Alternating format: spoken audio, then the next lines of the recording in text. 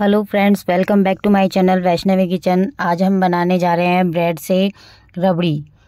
ये हम ब्रेड के कुछ पीसेस लेंगे, उसको ग्राइंड करेंगे और ग्राइंड करने के बाद में हम एक बाउल के अंदर कस्टर्ड मिल्क पाउडर लेंगे, जिस दो चम्मच, जिसके अंदर हम पानी ऐड करके उसको अच्छे से पेस्ट बना लेंगे।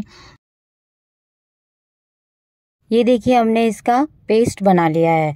अब हम एक बर्तन लेंगे, उसके अंदर हम दूध गर्म करेंगे। हमने आधा लीटर दूध लिया है, उसको अच्छे से बॉईल कर लिया है। दूध के अंदर उबाली आ चुकी है। अब अब हम इसके अंदर डालेंगे एक बॉल चीनी।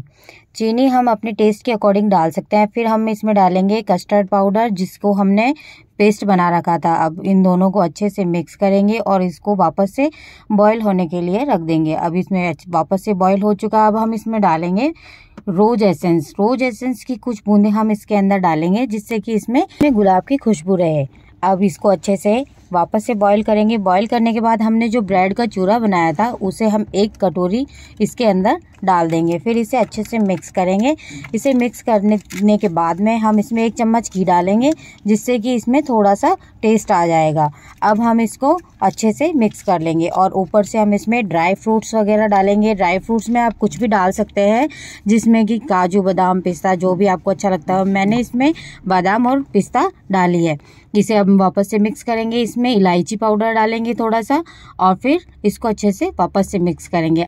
ये हम बाउल में निकाल लेंगे और फिर हम इसको ऊपर से वापस से डेकोरेट करेंगे थोड़े से बादाम से, पिस्ता से और हम इसके अंदर डालेंगे केसर के कुछ धागे।